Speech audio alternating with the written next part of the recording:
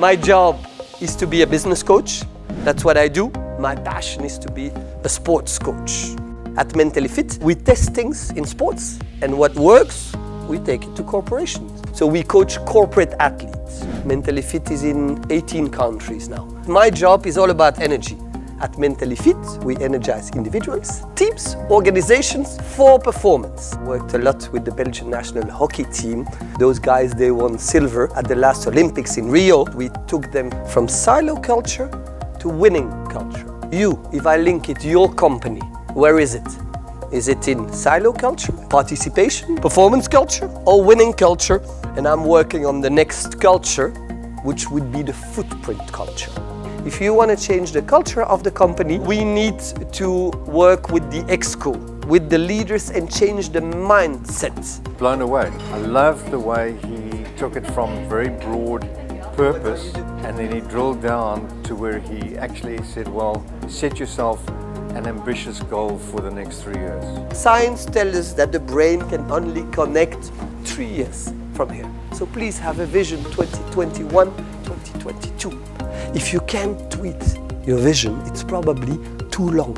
Make it visible, keep it simple. What resonated exceptionally well was if you have a why, you'll know how. If you want to energize the people, show them the why, and the why always comes from the future. I've never ever looked at sports as being something that you could actually that you could learn from. So for me it was exceptionally valuable. In sports we say you are as strong as your weakest axis but also they influence each other. In companies, we say status quo equals suicide. If you don't continuously change, you will die. Mentally Fit is very honest, straightforward. It is very practical. Look, help me to energize the team and we turn around to a very high performance results the following year. What, what I love about Luc, he gave us real life examples in terms of sports, car brands, companies, so you can all associate to that. Cristiano Ronaldo, when he scores, what does he show to the camera? What does he show? Lionel Messi, when he scores, what does he kisses? The badge of whom? Of his club, Barcelona.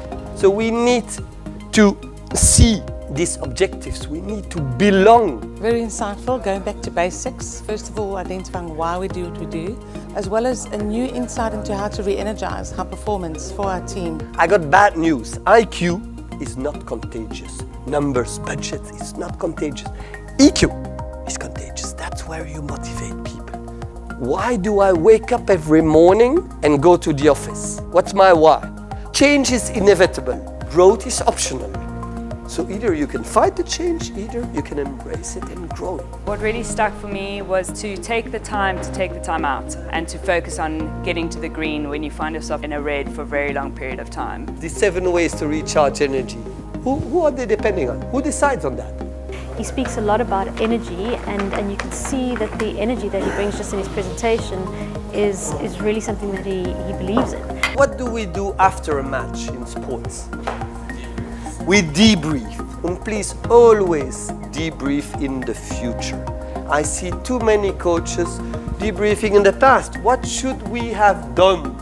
It's given me a little bit of an understanding of how I can help my team buy into a common goal and as individuals what we can bring to the team in order to make the team stronger.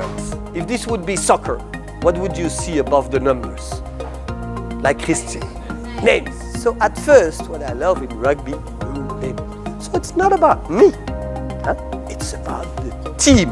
His talk and his demonstration really ties in well with the incentive and motivation concept. We need agile people and flexible solutions.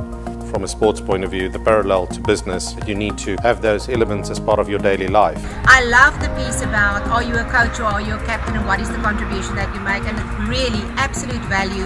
We definitely bringing him back to come and do some more work with us. We want to change South Africa. We want to change Africa. And it starts with